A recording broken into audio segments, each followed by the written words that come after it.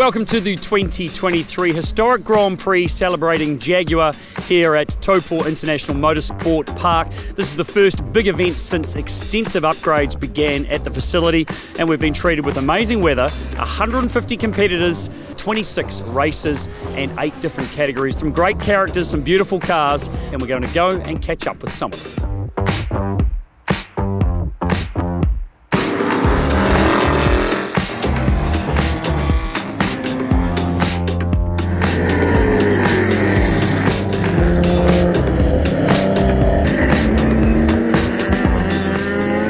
Been over 12 months since you took over the running of the circuit, the ownership of the circuit, and it's looking pretty spectacular. We're very pleased with um, the team that we've got here mm. because without a good team, you can't do much. And I want things to be presented well, and I want the events to run really well. The historic side of stuff and some of the equipment here this weekend. I mean, we, we, we've got this amazing fascination with this game, haven't we?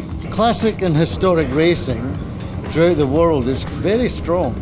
And I, like you, I'm very surprised and delighted that um, so many old cars come out and uh, do the historic Grand Prix at, at. It's, it's excellent, I reckon. And it's here to stay.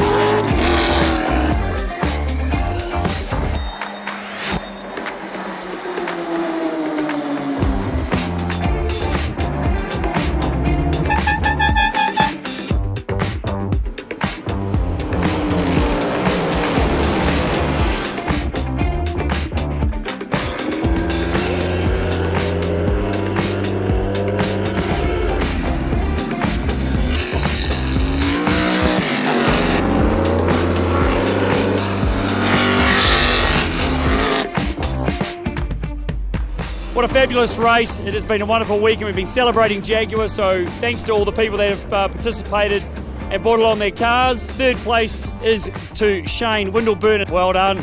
Well done, Shane. And a hard fought second place. Glenn Richards. And our winner's trophy to Brett Willis. What a great drive. Congratulations, Brett. Brilliant job. Hope everyone has enjoyed the weekend. Thank you for coming along and enjoying it as well. Uh, it's the sixth historic GP. There is going to be plenty more huge plans for the future. So thanks again and uh, see you next year.